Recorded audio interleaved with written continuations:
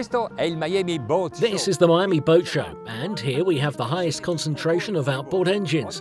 Today, we will see the most powerful ones and we will choose the best.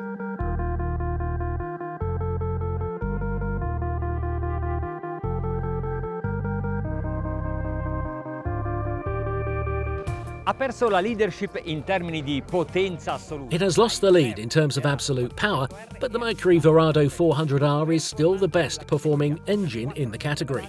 With 400 horsepower and 303 kilos of weight, the best power to weight ratio in its category, 1.32 horsepower per kilo.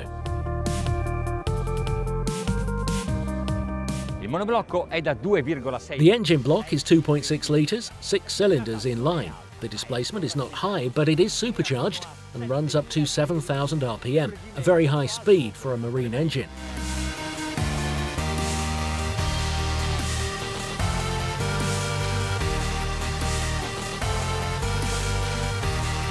Mi è sembrato di aver sentito un I thought I had heard a roar. It's like a panther, always ready to fly.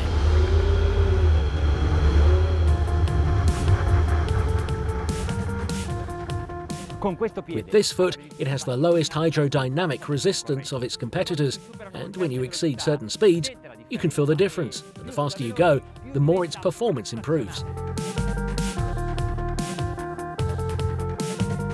And finally, the propellers. Mercury has such experience and such a wide range that whatever boat you install these engines on, you can turn all the available horsepower into speed.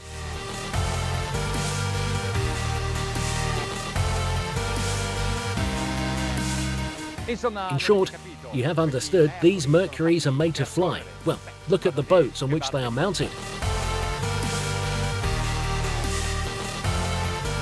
da questo salone il 400 di The Mercury Mercury 400 is also available in a non-racing version, with the same monoblock but different electronic mapping.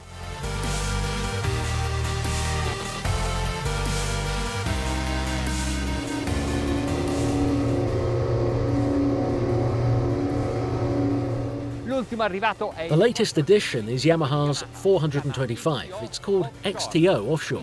In here, there is so much technology you could find it in a science fiction movie.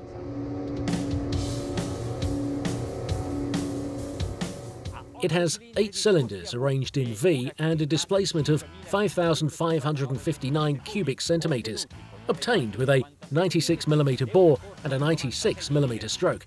What do these numbers indicate? That has huge muscles.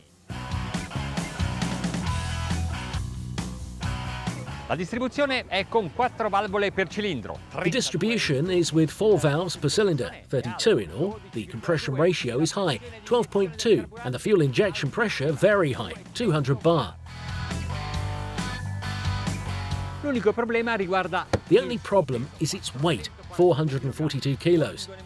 If you mount so much weight, you have to be careful it doesn't compromise the trim of the boat.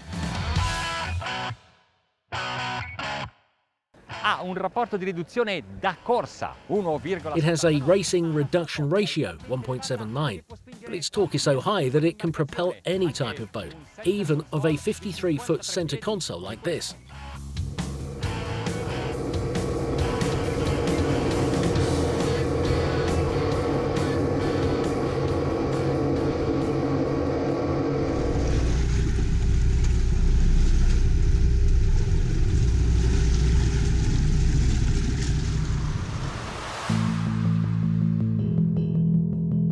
In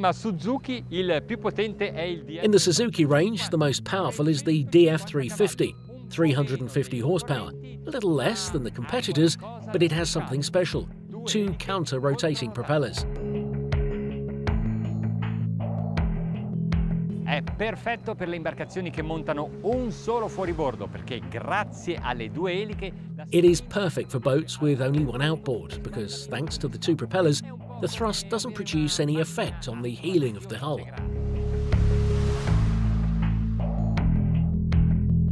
con tutti gli altri fuoribordo With all the other outboards, if you mount an odd number of engines, you will always have an imbalance in the thrust, because the number of those that have the propeller turning to the right will always be different from the number of those having the propeller turning left. Here, with two counter-rotating propellers on all the engines, you have no problem.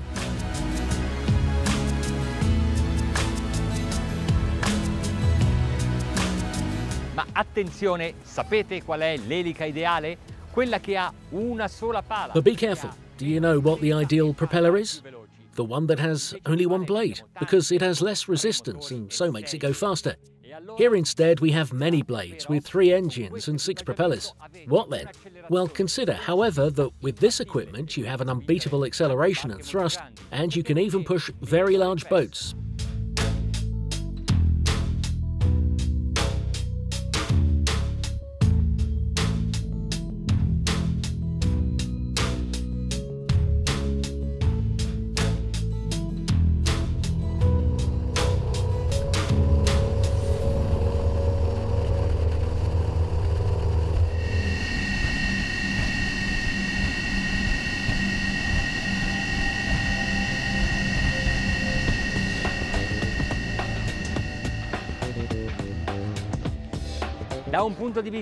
From a technical point of view, it is better to have fewer but more powerful engines. So this could be the best. 7 Marine, 627 horsepower.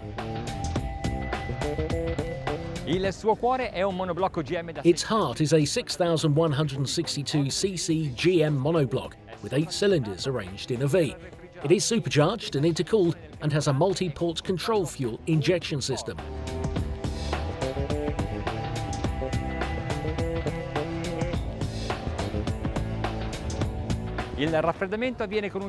Cooling occurs with a closed circuit that exchanges heat with seawater. The power to weight ratio, well, it weighs 497 kilos, so it's 1.26 horsepower per kilo. Not bad at all. Utilizza un invertitore idraulico a controllo elettronico. It uses an electronically controlled ZF Marine hydraulic transmission which allows you to choose the reduction ratios from 1.47 to 2.33, and so allows you to use these outboard engines on any boat, even on the largest centre console in the world, this, the Estrella of HCB, 65 feet in length.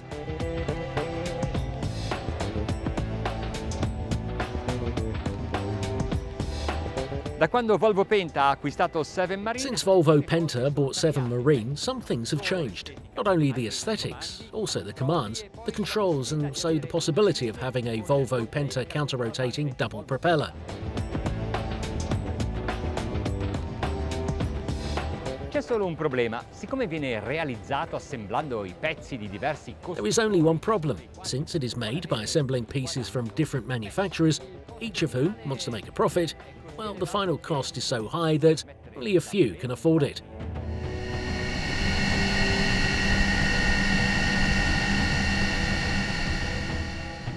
So what's the best of these powerful outboards? Well, it depends on the type of boat on which you want to install it.